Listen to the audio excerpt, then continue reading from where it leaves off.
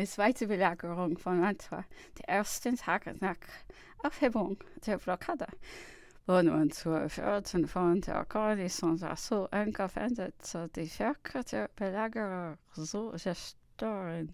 Und sowohl die Artilleriestocker als die Munition, die sie sanden, in die Festung zu bringen, aber die schnell aufeinander folgenden Unfälle Weltreferenziell reckten die Franzosen bald wieder vor diesen Plätzerück der Verluste der Artillerie-Equipage benahmen die Hoffnung einer neuen Belagerung unternehmen zu können.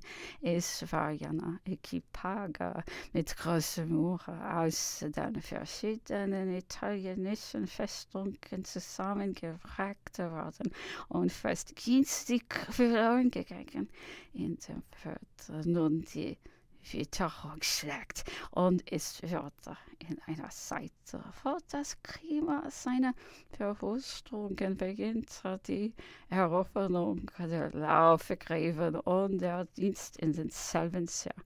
Nicht heilig für die Truppen geworden sein also der französische General sein. Belagerungsgeschoss zur Hand hätte, womit er gewiss sein konnte, Mantua in sechs Rocken zu nehmen, vorgab er es auf, eine neue Artillerie-Equipage herstellen zu lassen indem sie vielleicht erst dann fertig geworden sein werde, neue Ereignisse in Genozid hätten mit wiederholtem Verlust desselben die Belagerung Sohnes Weizermaler auszuheben. Er begnügt sich daher mit einer bloßen Blockade. Der General Sahuget wurde damit übertragt. Er Gouverneur und der General Dalawane Habsburger fortan. Sie besetzten diese Pesa und ganze Regio, warfen den Feind in die Festung und schlossen sie enger ein.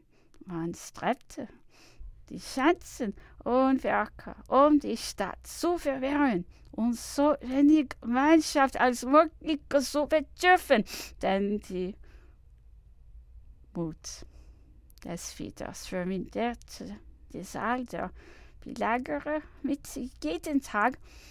Nur mit Schrecken sah man voraus, dass mit dem Herbst die Krankheiten noch zu nehmen mussten. Allerdings litt die Garnison an den nämlichen Übel und hatte keinen Verlust. Right? Good night.